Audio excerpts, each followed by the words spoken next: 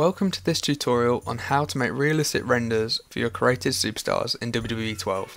On behalf of Community Creations, I'm Petchy, and today I'll be guiding you through all the steps you need to help you create a render similar to those used by the game. Unfortunately, this render hack only works for the Xbox 360 and does not work on the PlayStation 3. For this tutorial, you will need Adobe Photoshop with NVIDIA DDS plugins, as well as Xbox hacking portals, WWE 12 Creator Wrestler Editor. As an example, I'm going to create renders for TNA's Kurt Angle. To begin with, you want to find a large, high quality picture which will be suitable to use. A very useful website to look on is psddreams.de. This site is home to thousands of images ranging from wrestlers to celebrities.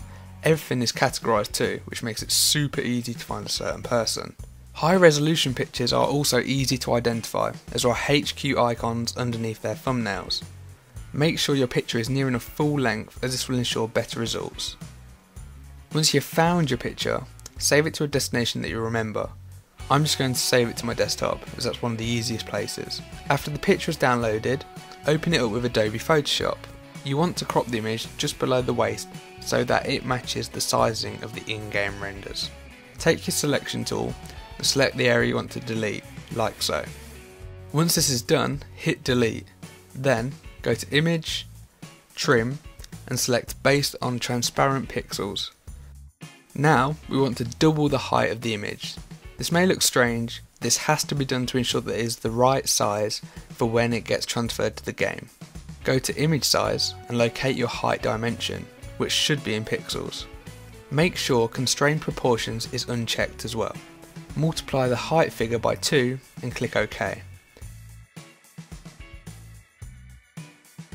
Once you've done this, minimise the screen for now and go to File and New. Make sure the dimensions of this new canvas are 256 by 512 pixels. This will be the size of your actual render.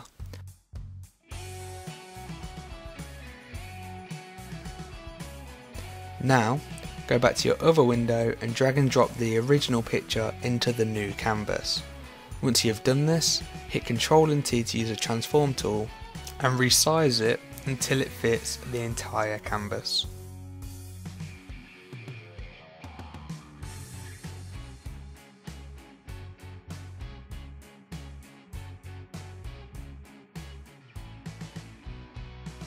Position this picture roughly in the middle and delete any layers that are behind it for now. Once this is done, we can begin the actual editing process for the picture.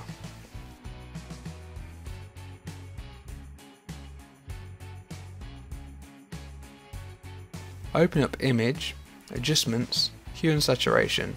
The only value you want to play around with here is the saturation. You want the skin to lose some of its colour like the real renders do.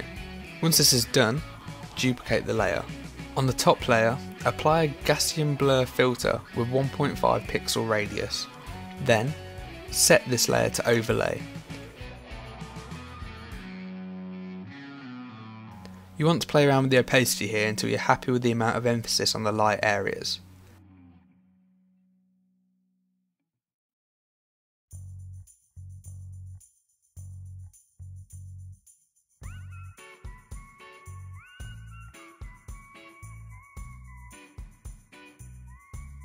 Now you can play around with the saturation again to get your final colouring.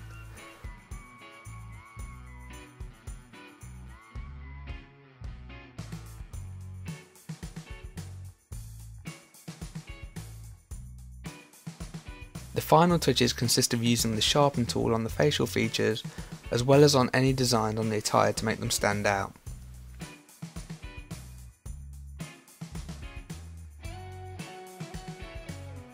Then, take your lasso tool at 20 pixel feather and select the lower part of the image.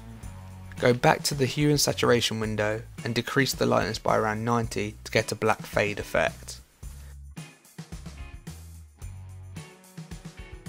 After you have finished this, create a new layer and flood it with black.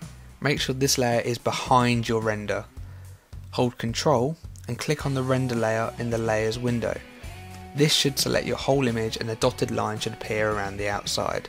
Now, go to select, save selection and hit OK. To deselect the render, press Ctrl and D. The next step is very important as this is what makes your render transparent in-game.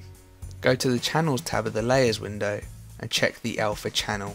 Once this is done, go back to your Layers tab and flatten the image. There should only be one layer now.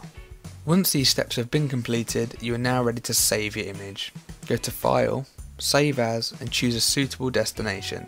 Make sure the Alpha Channels box is ticked and the file type is set to DDS. Once you click Save, another window should appear. Make sure all the settings are the same as those shown in this video. You want the DDS to be DXT5 with no mipmaps. If you want to create a mini render for the headshot, make a separate 128 by 128 pixel canvas. Once you've done this, go back to your original full render and resize that to 256 by 256 pixels. This will make it proportionate.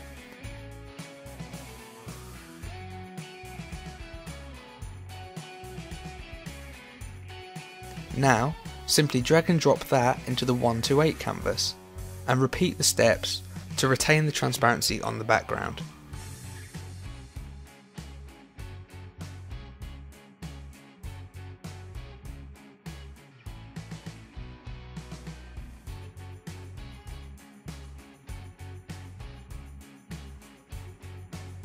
Once all your renders have been created, it is now time to import them into your save data.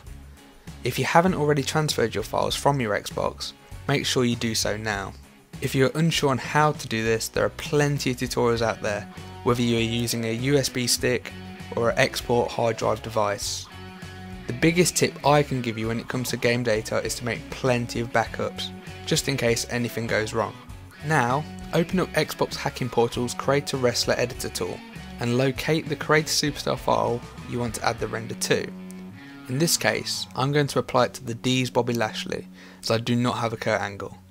Once the Create a Superstar file is open, hit the special icon and choose Import Selection Picture.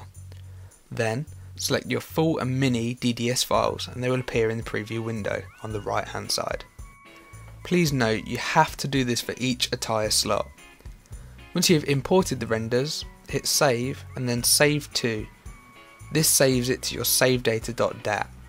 After the save process has been completed, your files are now ready to go back on your Xbox and you can enjoy high quality, realistic renders in WWE 12.